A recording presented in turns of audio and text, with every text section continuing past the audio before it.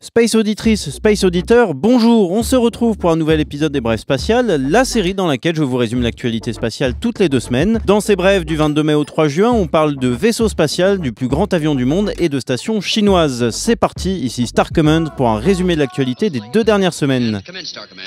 Et on attaque le 22 mai sur la base de Vandenberg en Californie. C'est SpaceX qui a réalisé son dixième lancement de l'année en faisant voler une Falcon 9 qui avait justement déjà servi pour le premier lancement de 2018 lorsqu'elle emportait le mystérieux satellite Zuma. Cette fois, la Falcon 9 a fait du covoiturage puisqu'elle emportait 5 satellites de télécommunications Iridium Next et une paire de satellites scientifiques Grace FO. Après avoir décollé et volé une dizaine de minutes, le second étage de la Falcon 9 a circularisé son orbite à environ 490 km d'altitude avec une inclinaison de 89 degrés par rapport à l'équateur presque à la perpendiculaire donc. C'est ce qu'on appelle une orbite polaire. Il y a laissé la paire Grace FO pour Gravity Recovery and Climate Experiment Follow-on, la suite de la mission Grace qui s'est achevée l'année dernière, gérée en collaboration par la NASA et le Centre allemand de recherche en géosciences. Grace FO est constitué de deux satellites identiques qui vont se suivre à 220 km de distance. Ils doivent permettre de cartographier les fluctuations de gravité de la Terre et donc de surveiller les conséquences du réchauffement climatique en suivant par exemple l'évolution des calottes glaciaires ou le niveau des mers. En pratique, les deux jumeaux sont équipés de capteurs ultra précis leur permettant de mesurer la distance qui les sépare à quelques microns près. Ainsi, selon la composition de la zone de la Terre au-dessus de laquelle ils passeront, la gravité évoluera et aura donc une influence sur leur trajectoire orbitale. En mesurant les légères variations de la distance qui les sépare, il sera donc possible de calculer les fluctuations de la gravité et donc la composition de la Terre.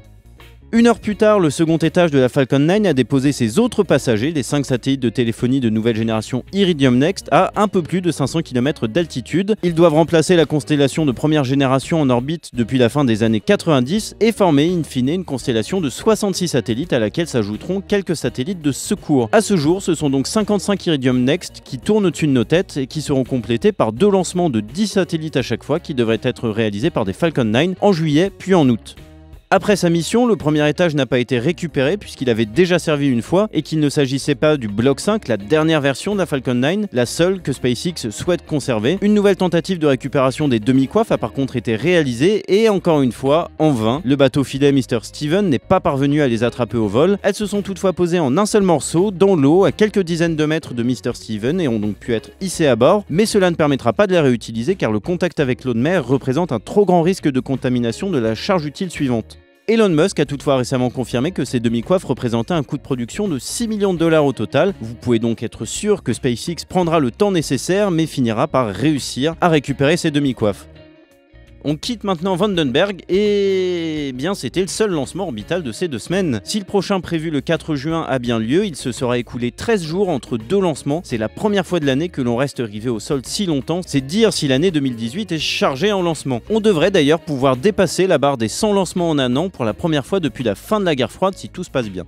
Mais rassurez-vous, d'autres choses ont volé pendant ce temps, notamment dans le désert du Morave. Un mois après le premier, le VSS United de Virgin Galactic a réalisé son second vol de test motorisé. Avec deux pilotes à bord, il a été organisé dans une configuration proche de celle qui sera utilisée lors des vols avec des touristes pour tester le profil de vol opérationnel avec un centre de gravité plus reculé. Suspendu à son avion porteur White Knight 2, le VSS United a été lâché à plus de 15 km d'altitude. Quelques secondes après, les pilotes ont allumé l'unique moteur pour une durée de 31 secondes, pendant lesquelles ils ont cabré l'engin qui a fini presque à la verticale. Les images donnent d'ailleurs la sensation qu'il a fallu quelque peu lutter pour conserver la stabilité de l'engin, mais il est parvenu à atteindre une altitude de près de 35 km, soit 10 de plus que lors du premier vol motorisé, une fois passé l'apogée de leur parabole, les pilotes ont actionné la queue pivotante de l'avion qui permet d'accroître la stabilité et de mieux gérer la vitesse de l'appareil à une altitude où l'air est quasi inexistant et où les appuis manquent donc. Le VSS United s'est ensuite posé sans encombre sur le tarmac, mettant fin à un deuxième test motorisé plutôt concluant. Richard Branson, le patron de Virgin Galactic, a assuré que les premiers vols avec des touristes n'étaient plus qu'une question de mois. Alors le problème, c'est que ça fait plusieurs années qu'il nous dit ça, et son vaisseau est encore bien loin d'avoir atteint l'espace promis aux touristes, puisqu'il faudrait pour cela dépasser une altitude de 80 voire 100 km selon la définition que l'on choisit. Mais on peut tout de même se réjouir de voir l'entreprise relancer un rythme plus régulier de tests après une longue période clouée au sol.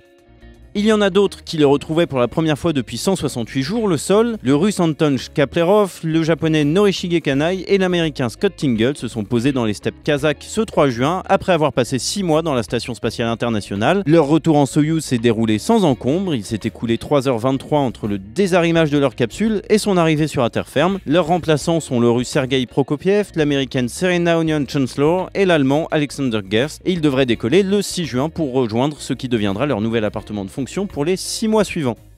Et le 26 mai, c'est un autre Américain qui est monté au ciel plus tristement. Il le connaissait bien puisqu'il avait même foulé le sol lunaire. Alan Bean est décédé à l'âge de 86 ans. Il était le quatrième homme à avoir marché sur la Lune. C'était en novembre 1969 dans le cadre de la mission Apollo 12. Il avait également séjourné dans la station Skylab. Après sa carrière d'astronaute, il a profité de sa retraite pour s'adonner à sa passion pour la peinture. Une passion en rencontrant une autre. Il a d'ailleurs produit de très belles œuvres inspirées de son voyage sur la Lune que je vous encourage à aller voir sur son site alanbean.com. Voilà pour ces deux semaines, Star Command over. Les chiffres et les lettres maintenant, et on attaque côté lettres, c'est Shi Song-yoon, ambassadeur chinois auprès des Nations Unies, qui déclarait le 28 mai la station spatiale chinoise n'appartient pas uniquement à la Chine, mais au monde entier. Tous les pays, quelle que soit leur taille et leur niveau de développement, peuvent s'impliquer dans le cadre d'une coopération équitable. Une nouvelle preuve, s'il en fallait encore, du statut qu'acquiert la Chine dans le domaine spatial ces dernières années. En plus de multiplier les lancements et les programmes d'exploration, d'envoyer des rovers sur la Lune et de développer de nouveaux lanceurs, les dirigeants chinois mettent en danger la domination américaine et russe de l'espace, une domination qui a rarement été aussi fragile. Tandis que la NASA pourrait abandonner l'ISS dès 2025 et que la politique américaine empêche toute coopération avec la Chine, l'Empire du Milieu veut en profiter pour jouer un rôle de premier plan sur la scène internationale. Avec sa future station spatiale, qui devrait être opérationnelle en 2022, la Chine offre une alternative aux nombreuses agences spatiales que la fin de l'ISS priverait de laboratoires en orbite ainsi qu'aux nations émergentes. Des astronautes européens ont d'ailleurs déjà entamé un rapprochement avec la Chine depuis quelques années en vue d'une éventuelle collaboration au cours des années 2020. De telles coopérations augurent du meilleur pour le futur de l'exploration spatiale et la balle est maintenant dans le camp des Américains qui devront choisir entre leur politique du America First et l'ouverture à un secteur de plus en plus interdépendant. Côté chiffres maintenant, et c'est un petit chiffre pour une fois que j'ai retenu, 3 c'est le nombre de tests de roulage que Stratolaunch doit encore effectuer avant de réaliser son premier vol. Le plus grand avion du monde a déjà réalisé deux tests et pourrait donc prendre son envol durant l'été 2018. Avec ses 117 mètres d'envergure et ses 6 réacteurs, Stratolaunch devrait pouvoir emporter jusqu'à 3 lanceurs simultanément pour une masse totale de 230 tonnes et ce jusqu'à une altitude de 9 km. C'est un projet ambitieux qui accuse déjà un petit peu de retard mais dont le principal problème reste qu'on ne sait pas à quoi ça va servir. Le seul lanceur aéroporté en activité aujourd'hui, le Pegasus d'Orbital ATK, ne pèse qu'une vingtaine de tonnes et est emporté par un tri-réacteur, le Lockheed L1011, qui s'acquitte très bien de sa mission. D'autres fusées aéroportées sont toutefois en développement et probablement que les premiers vols de Stratolaunch susciteront des initiatives pour profiter des avantages offerts par ce type de lancement. Et pour finir, on passe au tableau des départs des deux semaines à venir. On suivra le décollage le 6 juin du Soyuz FG et de sa capsule Soyuz MS-09 qui abritera la relève de l'équipage de l'USS dont je parlais un peu plus tôt. Puis le 14 juin, vous pourrez aussi assister au lancement d'un Pegasus XL dont je viens de parler qui devra placer en orbite basse un satellite de la NASA.